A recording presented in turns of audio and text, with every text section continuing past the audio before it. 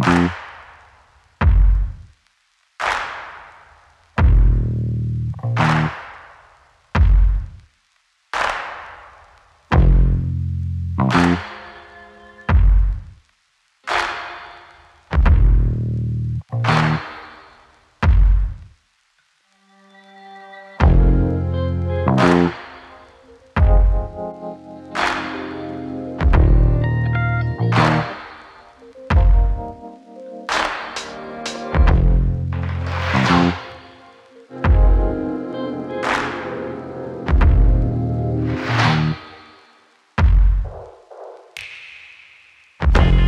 This is Sam Jackson, bringing you through the mark concerning the war.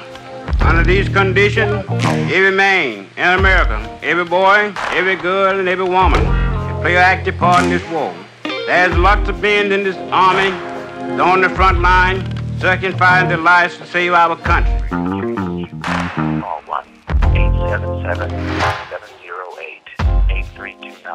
I want to say, Mr. Roosevelt, you continue your fight. We farmers not going to sit down on you. We're going to on with you until victory is won.